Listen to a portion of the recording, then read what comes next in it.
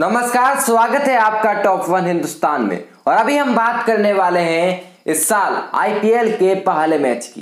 पहला मैच ही था चार पार की विजेता टीम मुंबई इंडियंस और तीन बार की विजेता टीम चेन्नई सुपर किंग्स के बीच में। और इस मैच को जीत लिया है धोनी के धुरंधरों ने, यानी कि चेन्नई सुपर किंग्स ने। चेन्नई सुपर किंग्स ने पाँच विकेट बचाकर इस मैच को जीत लिया है। यानी कि पाँच विकेट रहते हुए इस मैच को अपने कब्जे में कर लिया।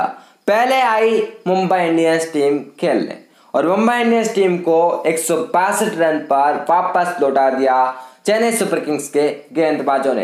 इसके बाद चेन्नई के बल्लेबाजों ने अपना कमाल दिखाया।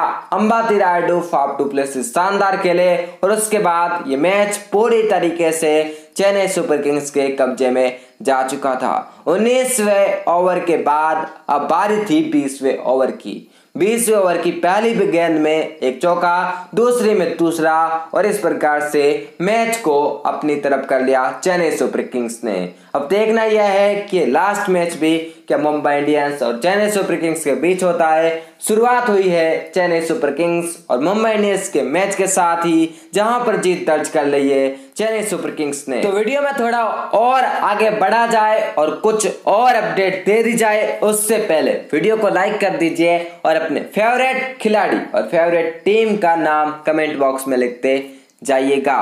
और साथ ही अगर आपको चेन्नई सुपर किंग्स की जीत पसंद आई है तो वीडियो को अवश्य ही लाइक करिएगा। तो वीडियो में आगे बढ़ेंगे और कुछ और जानकारियाँ देंगे इसी मैच की। तो इस मैच की शुरुआत होती है सीएसके के टॉस जीतने के साथ ही। चेन्नई सुपर किंग्स ने टॉस जीता, लेकिन पहले बॉलिंग करने का फैसला लिया। यानी कि बल्ला हाथ में होगा पहले रोहित शर्मा के।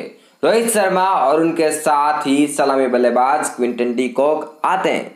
लेकिन कम स्कोर पर ही, यानी कि कह सकते हैं बहुत कम स्कोर पर रोहित शर्मा वापस लौट जाते हैं। लेकिन क्विंटन डी कॉक एक और से खेलते नज़र आते हैं। अब आइए बात करते हैं कि सबसे ज़्यादा मुंबई इंडियंस की तरफ़ से किसने रन बनाए और उसके बाद चेन्नई सुपर किंग्स की तरफ़ से किसने बनाए तो मुंबई इंडियंस की तरफ़ से सौरभ तिवारी ने इकतीस गेंदों का सामना करते हुए बयालीस रन बनाए।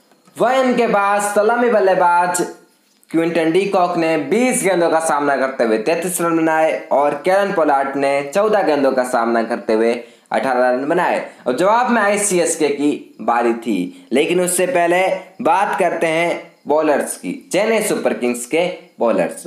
तो लुंगी अंगेडी ने सबसे ज़्यादा तीन विकेट झटके, उनके बाद दीपक चाहर और रविंद्र जडेजा ने दो दो विकेट लिए। बात करें चेन्नई सुपर किंग्स के बल्लेबाजी की। तो चेन्नई सुपर किंग्स की तरफ़ से सबसे ज़्यादा रन अंबाती रायडू ने बनाए। अंबाती रायडू ने 48 गेंदों का सामना करते हुए इकहत्तर रन बना डाले।